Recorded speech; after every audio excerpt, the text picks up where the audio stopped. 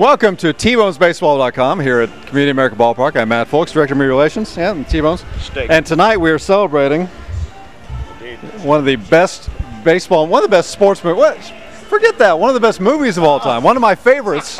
and it's hard to. Wait. This is David Mickey Evans. He's our guest of honor here at Community America Ballpark tonight. If you're watching this on the website tonight on Friday, you still have time to come out here, catch part of the El Paso game, and then watch the movie with this guy, with the guy behind it after the game. Now, if you're watching this after Friday night, sorry you missed it, but you can still get the DVD.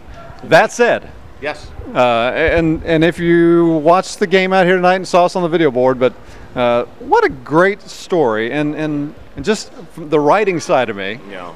just to come up with an idea and just to have all the little intricacies that you had in this movie. It's just it's a remarkable film. Well, I appreciate that very much. It's uh, look, you know, I don't know who it was that said it, but uh, was it maybe it might have been Hemingway?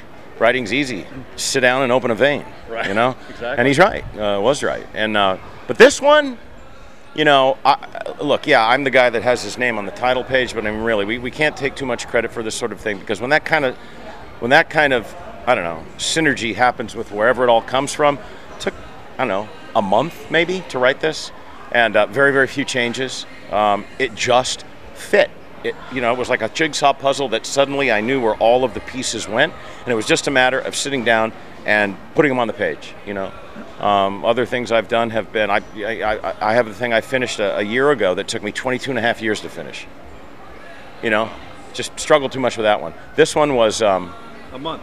about a month, yeah, six weeks tops uh, for all the rewrites and stuff like that. Of course, we did changes as we went along and stuff like that. But when it flows like that, you know it works. You know, and we didn't know if it was any good, but we knew it worked. You know. Well, but to imagine that we're going to be standing here 20 years later on a tour of 20, 25, 28 ballparks around the country, it's just amazing. Well, listen, I, I it, first of all, it's the greatest summer gig I ever had in my life, with the possible exception of actually making the Sandlot. I get to travel the country, and one of the big reasons of, of several that I wanted to do this tour that I told Fox was, look, this movie, I think is it, it's not just that it's well liked; it means something to people, and I found out by meeting all of the fans and thanking them right back. Because look, I, I would not be standing here with you if it wasn't for all of these, all of the people that love the movie.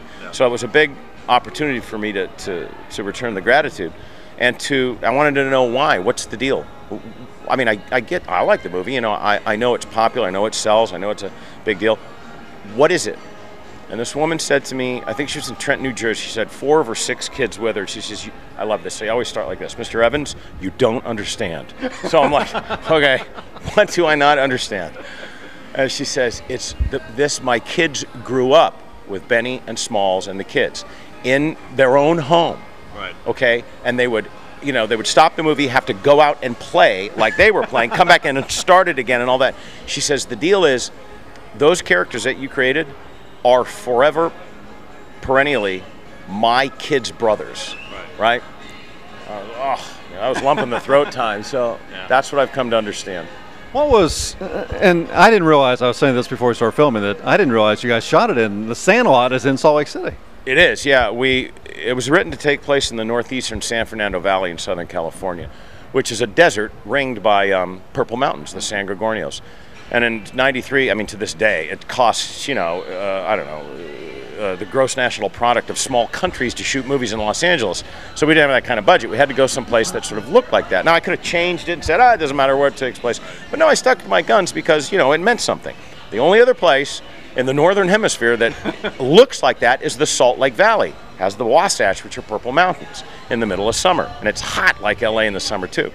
So uh, yeah, it was about 110, 112 that summer. Yep, it was just crazy, and uh, and all of the the houses and the streets and stuff like that. It sort of got developed post World War II with those three plus two ranch homes. You know, in the same way, the same time, the same kind of development. You know, streets with those oak trees and all that. It was a perfect match. You know, so that's why we shot it there. Well, as you think back to 20 some odd years ago filming this, what was maybe the most difficult thing of working with the kids and just overall watching this come together? time. Time is your enemy um, when you make a film. I started out with, I think, uh, like 58 days to make the movie, which is a lot of time to make a movie. and I got cut by a certain somebody that had something to do with the movie after it began, down to 42 days. So that was that was very difficult. I mean, when you have kids that you can only shoot, you know, if you get them for six hours before the camera, and I mean, you're, you're lucky with labor laws and stuff like that. And you have animals, and these were. Um, uh, uh, English Mastiffs, which you know weigh a couple of hundred pounds. They can walk four steps and then they have to lay down and sleep. and in 120 degrees, and they don't run. English Mastiffs do not run. Okay, they don't have to because they're huge and scary. Uh-huh. So we had to find a, a, skinny female. We had five of them, and we had to hose them down and keep them in a refrigerated wow. van and all this all the time. So that, all that kind of pragmatic stuff was uh, was difficult. Not a complaint. It's just what you have to do, you know. And of the thousand little decisions uh, a day that are the sum of which is making a movie. Um, that was a pretty smooth shoot, all in all. I mean, quite frankly, I had a great team, great production designer, genius production designer, genius director of photography, Chester Kaczenski and, and Anthony Richmond, great AD and Bill Elvin, terrific producer, Kathleen Summers and Mark Berg. Uh, they, these people, what do you, all they used to ask me was, "What do you need? What do you want?" I was, well, I need this and I want that and they would get it for me. So it was the best filmmaking experience I, I, ever had. Having said that, the biggest deal we had, we didn't have a tree. We had no tree, no no giant oak tree, on that actual piece of land in Glendale, which is right inside Salt Lake City, Utah. Utah. It's empty. It's like two acres of nothing. Huh. And we said, well, we got to get a tree. So we had no money. We had, you know, the budget's nothing. And so where are we going to get a tree? And this is an, an example of the kind of kismet stuff that kept happening was, you know, Chester Kaczenski and I, the production designer, are sitting there just panicking like two weeks before, going, "What are we going to do?" He goes, "Dude, we can't build when we got no money. Uh-huh. We can't go buy a specimen oak because it's going to be, you know, two hundred fifty thousand dollars for a hundred fifty year old oak tree. What are we going to do?" He goes, "I don't know." The next morning, literally, he's driving to work down this street. He looks over, and there's a man outside his house, which is a very old house, probably 150 years old, maybe more. He's starting a chainsaw at six in the morning. Chester looks, he, he's standing near an oak tree, a giant oak tree. He goes, What are you doing? He goes, I'm going to cut this tree down. He says, Why? He goes, Well, it was planted by one of the Mormon pioneers, and it's wrecking the foundation of my house finally. I got to cut it down. I don't want to, but I got to cut it down. Chester goes, Can I have it? And the guy goes, Yeah. He goes, I'll be back. We went and got two semis, a big crane, cut it down, took all the power lines and stuff for several miles, uh, you know, PG and all these guys, and trucked that thing to the sandlot and dumped it in 20 cubic yards of cement. Treehouse. It was awesome.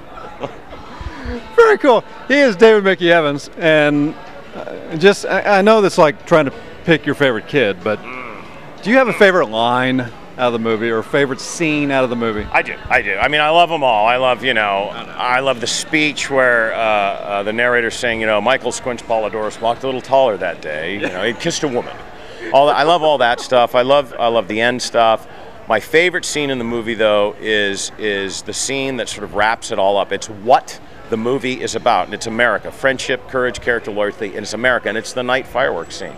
I mean, I remember typing that scene when I was writing it up, their faces and describing them, and the last two words I made it up that I put I said, you know, the, the, fireworks go off and it's Aurora Americanalis, which is really what it is. You know, it, that is America. Little kids' night. I mean, so that gives me goosebumps every time I see it. My favorite line is "Heroes get remembered, but legends never die." Yeah. yeah. And I've, I've, we use that upstairs. As a matter of fact, I've, I've used it. Uh, uh, I got a signed baseball for my best man at my wedding, and I on the bottom of that we inscribed that. That's I mean, it just really? sticks with you. I did really. Dude, you owe me fifty bucks. No, no. Maybe I shouldn't have said that. Uh, my bad. Oh, and I'm very flattered. That's awesome. oh, that's, that's really cool. He is David Mickey Evans, and you can go to uh, there's a website that. Oh, I got, yeah. Go to my blog. It's okay. just my name, David Mickey Evans blog at blogspot.com. That's a doorway. You can email me, follow me on Twitter, all that happy stuff. Um, and I'm, I'm, I'm a little behind on my blog because you know this driving in between events. Yeah. But you there's at least 15 or 20, no maybe no maybe like 10 or so posts and I post after every event. Well, I've okay. tried to. I'm behind. I'm going to catch up. There's also a ton of cool stuff about the Sandlot and all kinds of other junk on there. Um, and if you ever want to get a hold of me, just punch that email button and I answer all the emails. David Mickey Evans blog.blogspot.com. There you go. He is David Mickey Evans. I am Matt Fulks. Thanks for watching. Get out here tonight, and if you've missed it, go buy the movie. Email him. Thanks for watching, everyone.